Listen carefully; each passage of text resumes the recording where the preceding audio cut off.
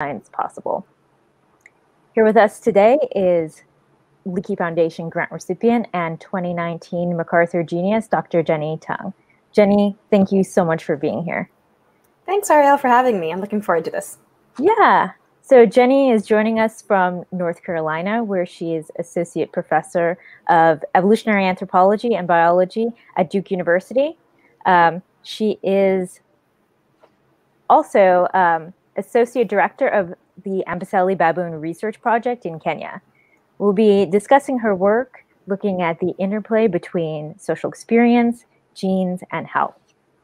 Um, but before we start, for those of you watching us live on Facebook, Twitter, and YouTube, please be sure to ask questions to Jenny anytime in the comments. Um, the sooner you ask the questions, the more likely they will be asked at the end of the episode. So get those questions in. Um, so Jenny, um, it seems kind of like common sense that our health would be impacted by social experiences like stress and isolation. Um, I feel like, you know, personally, my in my own experiences, I'm more likely to get a cold if I'm under a lot of stress.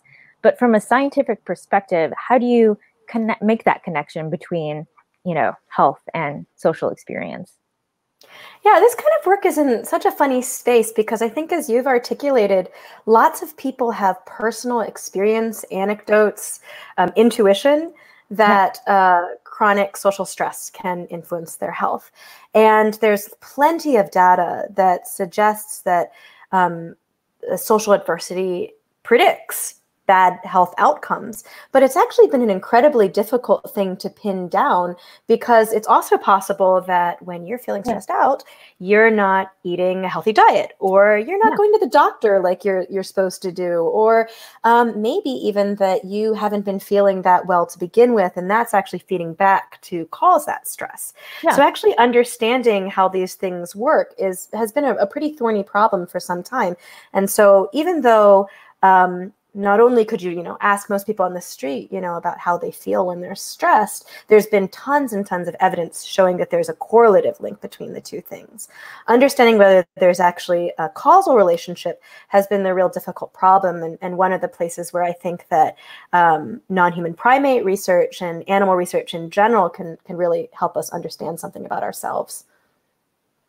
Yeah it's um and it's it's so interesting too because um i mean you you you know you you know do all your research from an evolutionary perspective and mm-hmm. um, you know um, i'd love to know you know more about uh, how you became interested in evolutionary anthropology kind of what a part in your career and and also to kind of build on that question you know how is it that um, looking at these questions you know from an evolutionary perspective is unique Right. So um, my particular interest um, started at, at university. So I actually went and did my undergrad uh, my undergrad research, my undergrad degree at Duke too, where I teach now. And so um, I think like many people coming into college for the first yeah. time, you know, in, in in high school, and you take math, you take you know, you take biology, you take, uh, you know, writing, um, you take social studies. You don't take evolutionary anthropology. So it wasn't a field that I had actually heard of or really understood anything about before um, I came to college. But I was lucky enough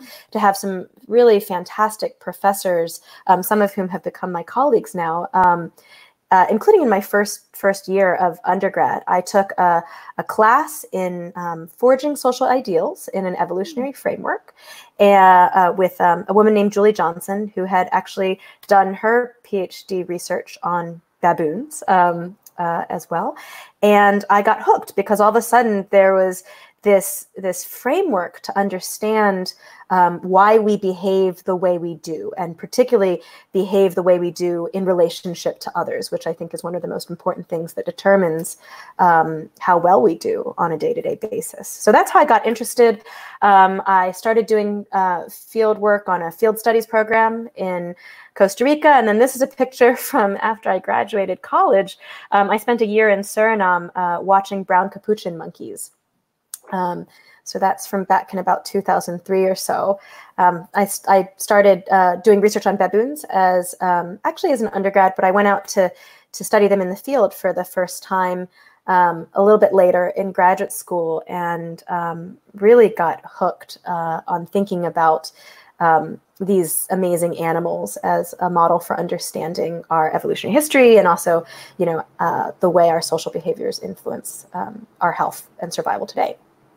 That's so neat. Um, you know, in our first episode of Lunch Break Science, uh, we spoke to primatologist Zarin Machanda, and she discussed about how chimpanzees and bonobos were such an excellent model for human behavior because they're our closest living relative. But with baboons, they're not quite as close. So why why do you and other researchers look at baboons and other animals to learn about human behavior? Right. So um, I think there are both kind of intellectual reasons to do that, and then there are also some very practical reasons to do it. Um, from an intellectual standpoint, uh, when when we think about placing humans in an evolutionary context, one of the questions that constantly comes up can basically be framed as like how how old is this? How deep does this does this go? Yeah. You know, the the things that are important in our lives. Do we share them um, only with other humans? Do we share them with our closest relatives, the great apes, like Zarin studies, or do they go much um, deeper in time. For example, does the evolution of complex sociality, um, of living in groups with the same individuals day to day, by itself trigger dependencies on social status or social integration in a way that really isn't um, about our species in isolation. And then, from a practical perspective, um, I mean, there's a there's a really good reason why baboons are among the the best studied um, primates in nature. Here you have this large bodied, highly social terrestrial primate that radiated in sub Saharan Africa. And that starts to sound pretty familiar um, because I could also be talking about the history of our own species. Um, they also happen to do this wonderful thing, which is often live in fairly open environments in which we can collect um, really detailed data about their behavior and about their life history. So um, I've been fortunate enough to work on them um, in conjunction with the Amboseli Baboon Research Project, um, which um, is particularly uh, special to me and I was drawn to work on because, well, one, my collaborators on the project, Susan Alberts, Beth Archie, Jeanne Altmann, are amazing, amazing scientists to work with in general. Yeah, but um, through their foresight, um, particularly Jeanne's and Susan's, this is a population that's been studied continuously um, since 1971. So we're going to celebrate our 50th anniversary uh, next year. And Wonderful. that means that, yeah, we're starting to put together, we're hitting our ninth generation of baboons in this population, which opens the door to lots of questions one can answer about health and survival, including in an intergenerational context. Hi, that's that's really fascinating. We'll have to have um, we'll have to have a, another event about about that. But uh, that would be I, great. Yeah. but back to your research. Um, so, how much of it is done in the field versus the lab, and, and kind of what is the process like? So, um, we split our time a lot. Um, if you ever see me give like a, a, full lecture with slides and everything, there'll be lots of pictures from the field because yeah. those are the prettiest pictures. But oh, yeah. um, we also do spend a lot of time in the wet lab, and we actually spend quite a bit of time in computational work too. Um, and what that means is that depending on the interests of my students, um, they may spend more or less time um, in the field. Um, in most cases, we, we hope that even if people are doing um, work that is almost completely lab or computational based, they'll be able to go out there and see the baboons because that obviously inspires how we think about um, the data that we generate and also new questions that we can ask. Um, you know, increasingly, you showed a picture of me that was from grad school working in our field lab um, with, increasingly we also try to blur the boundaries between field work and lab work you know um, with new technological developments there's more and more stuff that we think that we're actually going to be able to do um, in the field itself we already run you know minus 20s off off solar power yeah. and um, you know are doing more and more genetic data generation um, either in the field or in Nairobi with our collaborators um, there too. So awesome.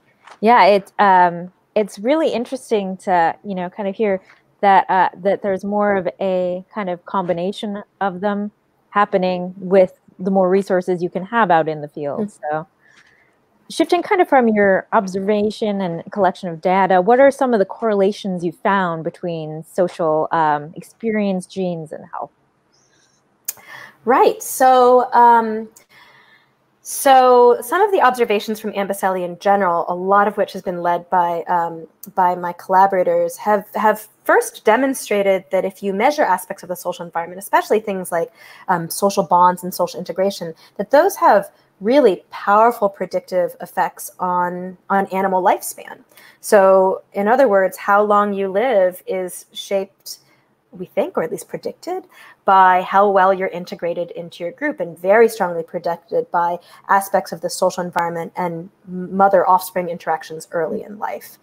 Um, you know, that raises the natural question of, well, like, why? Why? Why is it happening? Why? And I think this is one of the reasons why this overall topic has been so difficult to nail down from a mm-hmm. from a scientifically well mechanistic perspective to begin with right like if you all of a sudden became really nasty to me right i might have my feelings hurt but it's not obvious why that might um, influence my long-term health or if you know that happened on a repeated yeah. basis right and that's that's a question that's really occupying a lot of our, our mental and scientific um, space right now in, in the Baboon project. One of the things that we've been able to do is start um, asking how cells that are circulating in the blood, that, you know, their major task tends to be an immune defense, actually change the um, genes that are turned on and off or turned up and down as a consequence of um, the experiences the animals are having. So, for instance, if we draw blood from our animals, we can expose, um, you know, uh, parts of that blood, some of those cells, to things that look like a bacterial infection.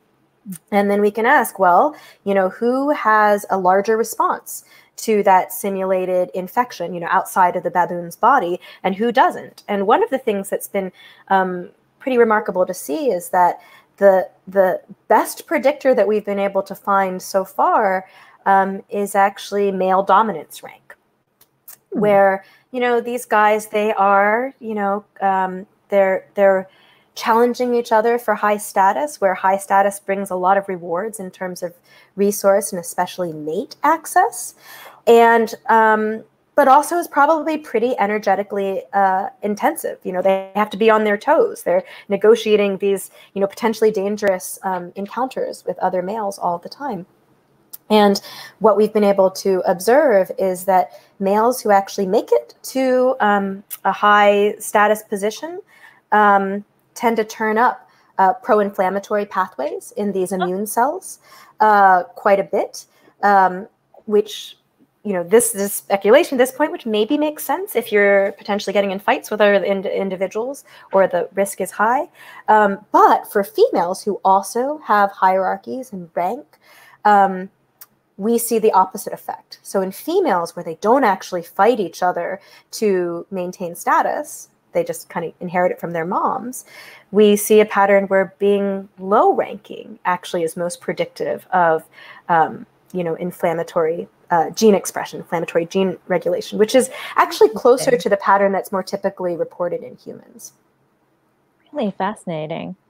Um, now, survival is a thread that's kind of woven through your research, and it really resonates with our mission at the Leakey Foundation. You know, we're not just focused on learning about the past, but we're, you know, really interested in learning how evolutionary research can help humans survive.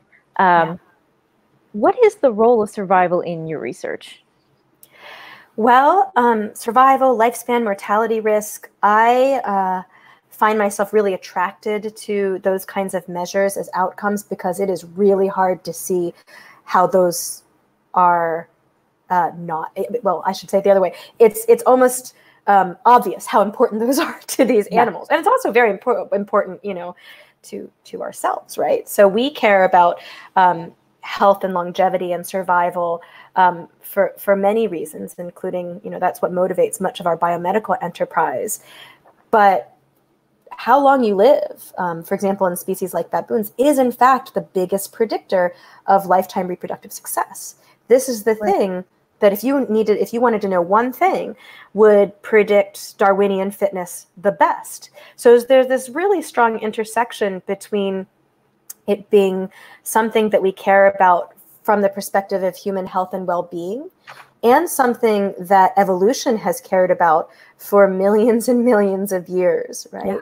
Things that affect how long a baboon lives and how long a human lives matters um, in this sort of deep evolutionary time context in, in a really a really serious way. So it's like a very attractive, um, you know, variable to study because you have that that dual significance, and it's it's really clear.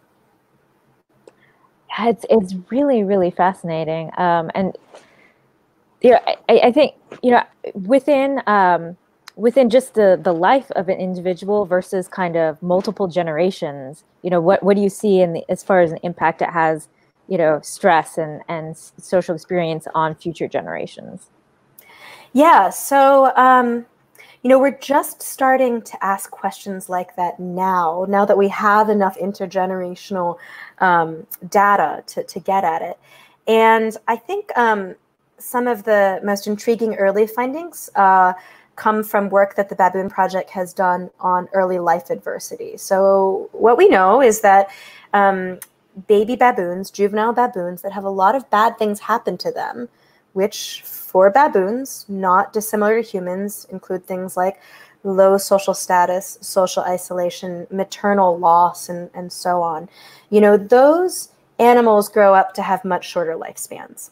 So we we we know that from um, some work a few years ago, and it's actually a remarkably large effect. Um, one of my colleagues, Susan Alberts' students, Matthew Zipple, recently did this analysis, um, and I think he is a Leakey Foundation grantee as well, um, uh, did this analysis to ask about whether when those kids grow up, right, and they have their own kids, whether this second generation of offspring is also influenced by, by basically environments that never happened to them that environments that might have been 10 or 15 years in the past. And I think what that research showed quite convincingly is that early life adversity in one generation can influence the survival probability of the next generation again in, in kind of um, a substantial way. And that's controlling for anything that happened to that kid itself. So that is so, that's really, really fascinating. Do you think, I mean, because you, you're a mother, um, do you mm-hmm. think about do you think about kind of of your life experiences and and and your your son's life experiences? I'm just I, I have to put this picture up because it's just so cute. Yeah, that's that was my son Kieran's um, trip to Kenya last that's last year. That's actually us in Amboseli. Um, uh, I think about this stuff a lot more with respect to my personal life. You know, I I think about the importance of early life experience and early life exposures. Um, and I think about the importance of social relationships and social connectedness in a way that is much more present um, in my mind than I think uh, it would have been had I gone down a very different research path. Sure, yeah. There is so much going on in the world right now. Uh, you know, global plan pandemic. You know, inequality, social isolation. Uh, what can we learn from your research about the conditions that are, you know, you know facing us all right now? Well, um, certainly our work is, you know, it provides a few data points and a sea of data points to um, to argue that social inequalities are are seriously consequential for health outcomes. Oh, yeah. That that's a large body of work, and um, and I think it's pretty clear already that the pandemic is exacerbating existing social inequalities and probably amplifying um, um, health uh, health outcomes that were already tied to existing inequalities. So that's certainly um, an outgrowth of the pandemic that um, I think we will need to pay a lot of attention to, not only because of the immediate moral and ethical dimensions, but because this is going to have ramifications for um, public health in our hmm. society, mm-hmm. probably for many years to come. Um, and I think the other thing that it's told me is, you know, it just gives me a reason to understand why social distancing is so hard for us. You know, we find it really hard and really stressful. And we obviously break those rules, you know, often, right? Yeah. Humans break those rules often without strong um, strictures against them. Yeah. And I think that's in part because we have spent tens of millions of years evolving in groups where social connectedness is important right? So we have a response because of that evolutionary history to being apart from one another. And i think that's playing a big role right now in terms of again how just, just how challenging we're all finding this. Is uh, you know is everything kind of going on now changing some of the framework of your research questions um, yeah, so I have spent my whole career studying um, non human primates and expanding a little. We do some research now also on other social mammals, again, because I think there's always this question about how deep does this go? How fundamental yeah. is this to social evolution? Um, I have. Uh, I have never uh, worked on human populations, but you know that's starting to to be a real pull and yeah. so we are starting some collaborations with uh, colleagues who work in um, human immunogenomics or social epidemiology to think about how the sort of social environments of people who are living right now, including living through this period, might influence how their immune system functions in ways that might parallel some of the things we've done in other species. I mean, and and I'm assuming your fieldwork has got to be majorly impacted by by COVID nineteen. Yeah, um, all our fieldwork happens um, outside of the country, and uh, the travel restrictions have made that much harder. So um, uh, I have been uh, going to Amboseli every year, at least once a year since 2006, and that's just not going to happen this year. Um, and it's not going to happen for um, many of my close collaborators and our students either. Uh, and and that's that's tough. That's requiring adjustment. I mean, yeah. I think we are fortunate um, as a field site uh, relative to to some other possible um, outcomes uh, during the pandemic, but certainly it's it's a big difference from from what we're used to. Yeah, yeah. You know, it's just it's it's it's really interesting just hearing uh, the the different ways the different field sites and and and labs are affected by it but um, it is it's just um, it's it's it's just shifting so many things. Mm-hmm. um, absolutely. So you're a macarthur genius. What does that mean and what was it like to find out about about getting that award? Um, it was a very big surprise um, it was completely unexpected. It was um, uh, in, incredibly, um, oh, I don't know, incredibly uh, meaningful to have that kind of recognition of um, the type of work we do. Uh, and I suppose that um, mostly now I just feel some level of obligation to try yeah. and figure out how to, to, to live up to that that investment. Yeah. Well, and I know you you spend you know a lot of time you know kind of cultivating your students and and making sure I, I at least from what I've kind of read and and heard from you is is that um, you know that that creativity that you bring to your research you know you really help your students bring to theirs as well. Um, um I hope that's true. I would say that that's a very two-way street, and a lot of the things that that now I now think about are because my students, you know, pushed our work in that direction. So, um, yeah, it's it's it's this is this is very much a collaborative effort, and we seek inspiration wherever we can. Well, that is so wonderful, and um, we're going to take some questions now from the audience. Um, so, oh, oh, here we go. Do pro-inflammatory tendencies differ from pair-bonded species to non-pair bonded? I don't know the answer to that question explicitly. Um, I think there's actually a ton of, of, of space. Um, I don't I don't know the person who's asking the question, but maybe you could go there um, to do more comparative work, right? Because the type of stuff that we're doing involves a lot of granular individual centered data within a population, within a species.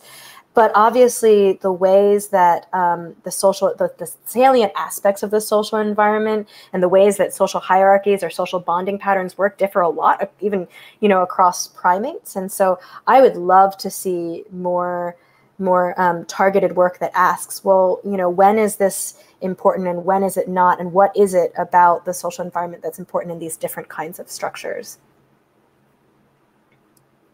That's fascinating. Um, here we go. Are humans the most social primate? Um, I think that probably depends on you how you define um, what being social is. We certainly are very complicated social primates. I mean, one of the reasons that we study, I guess I probably didn't mention this, that we study other other primates is because um, by and large, I mean, they're complicated, but we can summarize their um, social hierarchies in kind of like a single dimensional measure. Whereas humans, we do these amazing things where we interact with multiple layers of society simultaneously. So, yeah. you know, you could be, um, highly integrated in your uh, your church, but relatively isolated at work. You could be high status on your baseball team, but you know low status in another sort of circumstance. So um, I don't know that we depend more on on on positive social interactions than other primates do. Um, the the effect sizes in other primates are actually like where they've been estimated are very similar to, to humans, but we certainly complicate it the most. So maybe I'll answer it that we way. sure do. what do we have another question? And please, everybody, um, if you're watching live, ask questions, comments. Oh, ah, Hailey Retta, who will be a, a upcoming speaker and guest at for Lunch Break Science, asks, do you rule out the impact of other factors like stress due to predators or human intervention into their habitat? Yeah, so um, in the in the wild baboons that we study, um, mean, so the benefit of studying natural populations is that when you see a convincing, robust effect, you go, okay, this is really relevant to animals in their natural environment. But the question um, definitely touches on one of the things that is a limitation of natural populations like like the baboons which is that you can try and statistically control for these sorts of things but you can never do um, you know sort of a gold standard experiment that rules out the possibility of contributions by these other kinds of factors. Um, we do think that when we're looking at social interactions between different individuals that at least in the baboons um, it's not obvious that individuals who have lots of um, reciprocal, long term, stable relationships are the ones that would be most likely to be targeted by a predator yeah. um, or be affected by uh, human wildlife conflict. But we can't rule it out. So, one of the things that we try to do in my lab is complement the work we do in the wild with some work that we do on captive rhesus macaques, different species, but also highly social, highly hierarchical, really dependent on their social environment.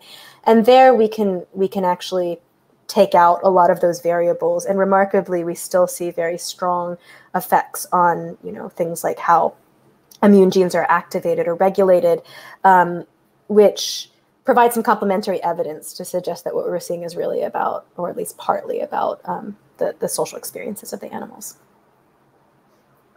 Ah. Uh, we have our next one is I believe baboon infants occasionally are stolen from lower class, lower status females. Does this change their status in the troop and does it affect their health and other factors? Yeah, so um,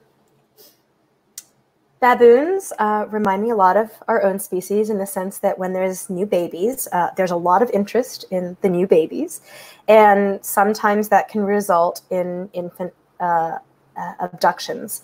Um, the outcome of those abductions varies a lot. So, if it's a, a, higher ranking female stealing a baby from a lower ranking female, then there's this whole um, power hierarchy interplay just to, to get the baby back.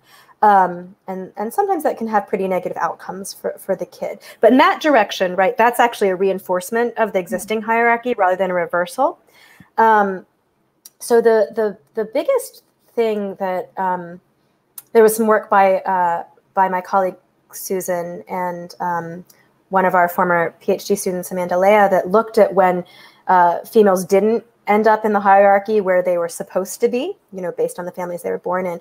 And so it's not so much um, abductions that matter, but but something that is probably a longer term, bigger effect, which is, um, you know, did your mom die? You know, getting to the place in in in the rank hierarchy that you're supposed to be is is heavily mediated for baboon females by their relatives, by their female relatives, and especially by their moms. So if they don't have that kind of support, that's where you see violations of the expected hierarchy most often. Really fascinating. We have quite a few questions, so we're oh, ah okay. Um, how do you collect health data from baboons in the field? Um, well, so we are more limited than um, collecting health data from uh, animals in captivity or from humans. We can't get them to go see the doctor. We can't ask them about self um, perceived health. Um, so we do what we can uh, based on the types of data we can collect. Some of it's observational. So, for instance, um, the project collects long term data on um, wounds and other injuries. So if there's a broken bone or an open wound, we track it and we also track progress until healing.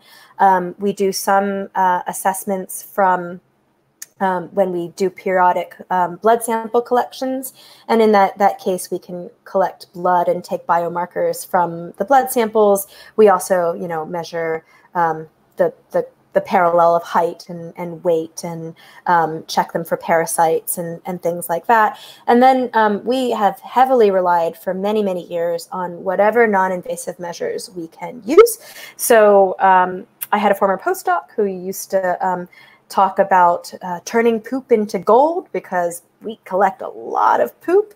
And it turns out that can be really informative about a variety of things. Um, hormone levels certainly um, um, uh, both sex steroid hormones and thyroid hormone levels are things that are measured um, in the population. Parasite loads are measured in the population from fecal samples. Um, there's some efforts to do more um, assessment of the immune system through uh, fecal samples, and we literally collect um, thousands of fecal samples every year. So the more we can do non-invasively, the better of a, of a, a look we have.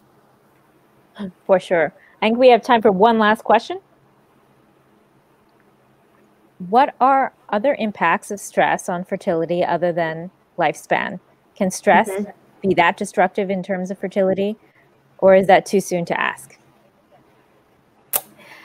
Um, well, we have some some preliminary um, findings that I can share with you. Um, I think the answer probably depends on the nature of the stressful experience. Yeah. Um, our viewpoint in Amboseli, oops, can you still hear me? I think the video. Oh, there we go. Yeah. Um, our viewpoint in Amboseli is really shaped a lot by work that people like um, um, Peter Ellison have done. That you know argues that that current energetic balance, right? Are you are you taking in more energy than you're expending?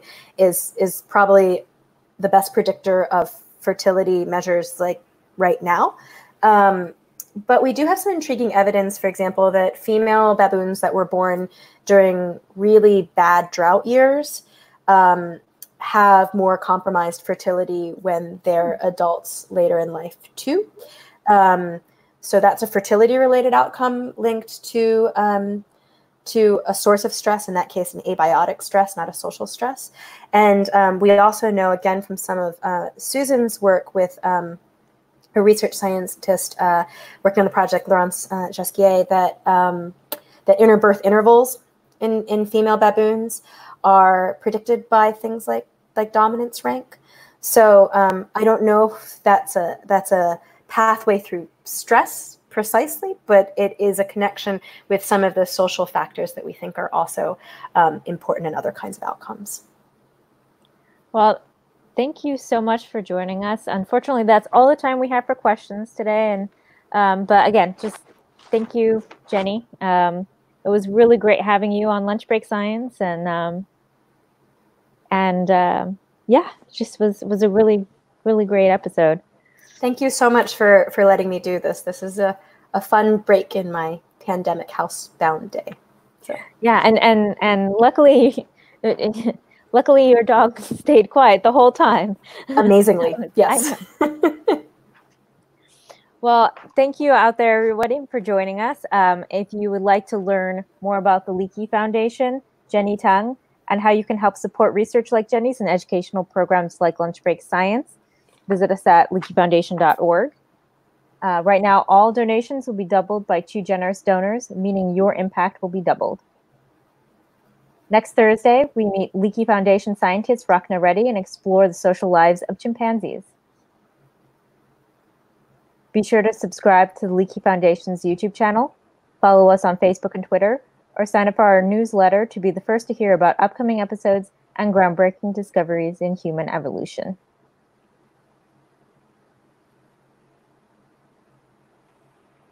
Still hungry for science and can't wait till next week? Check out the Leakey Foundation's award winning podcast, Origin Stories, available wherever you listen to podcasts. Leakey uh, Lunch Break Science is made possible by the generous support of Anna Gordon Getty and Camille and George Smith. Thank you all for taking time from your day and feeding your brain with the Leakey Foundation. Uh, until next week, stay hungry for knowledge. Bye, everyone.